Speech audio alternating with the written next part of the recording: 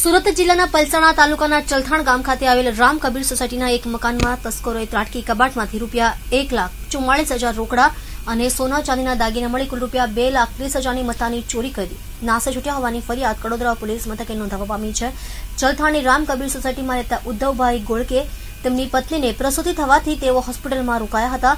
તે વખતે તસ્કરોએ તેમના બંધ મકાનને નિશાન બનાવી કબાટમાંથી રૂપિયા એક લાખ ચાલીસ હજાર રોકડા અને સોના ચાંદીના દાગીના મળી કુલ રૂપિયા બે લાખ ત્રીસ હજારની મત્તાની ચોરી કરી નાસો છૂટ્યા હતા આ બનાવ અંગે કડોદરા પોલીસે તસ્કરો સામે ચોરીનો ગુનો દાખલ કરી વધુ તપાસ પીઆઈ પીએ વરબી કરી રહ્યા છે मेरा नाम उद्धव भाई तुकाराम घोड़के घर में चोरी हुआ है रात में हम लोग हॉस्पिटल में गया था और रात में डेढ़ दो बजे लगभग हो गया ये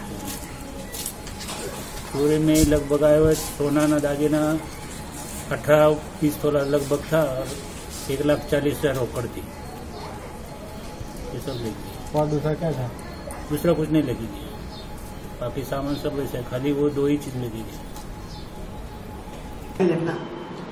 આખી ઘટનામાં એવું છે ઉદ્ધવ તુકારામ ઘોડકે રામ કબીર સોસાયટી ચલથાણ ખાતેનું મકાન આવેલું છે અને તેમની પુત્રી ડિલિવરી માટે સંજીવની હોસ્પિટલમાં દાખલ કરેલ હતી. એટલે તેઓ રાત્રે બાર વાગે સંજીવની હોસ્પિટલમાં જાય છે.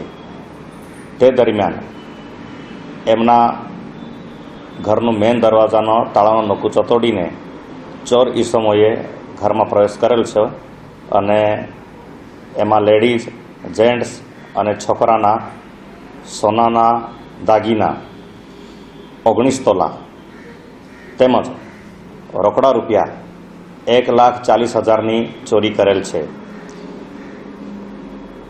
જેથી અમે ગુનાવાળી જગ્યાએ જઈને તપાસ કરતા આજુબાજુ ખુલ્લો વિસ્તાર છે અને સમગ્ર ચોરીની ઘટના માટે સ્થળ પર ડોગ, ફિંગરપ્રિન્ટ વગેરે બોલાવવામાં આવેલ છે, પણ ચાન્સ પ્રિન્ટ મળેલ નથી.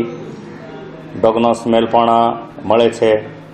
પણ આજુબાજુમાં ખાડી છે ખુલ્લો વિસ્તાર છે અને સમગ્ર તપાસ અમે કરી રહેલા છે. આ પ્રકારના એમોથી જે પણ ગુના થયા છે તો ગુના કરવાવાળા આરોપીઓ આ એમોના અંદર છે બહાર છે જે જેલ પર છે જેના બેલ થયેલા છે એ રીતે તપાસ પોલીસ કરી રહેલ છે. સીસીટીવી નથી સિક્યુરિટી વોચમેન નથી કોઈ જ પ્રકારના ત્યાં કેમેરા પણ નથી. તેમ છતાં, અમને જે ઇન આઉટના રસ્તા બહારના ખુલ્લા છે, એ પ્રકારે કોણ હોઈ શકે? નજીકના જે પડાવ વગેરે છે, એ બધું પોલીસ ચેક કરેલી છે.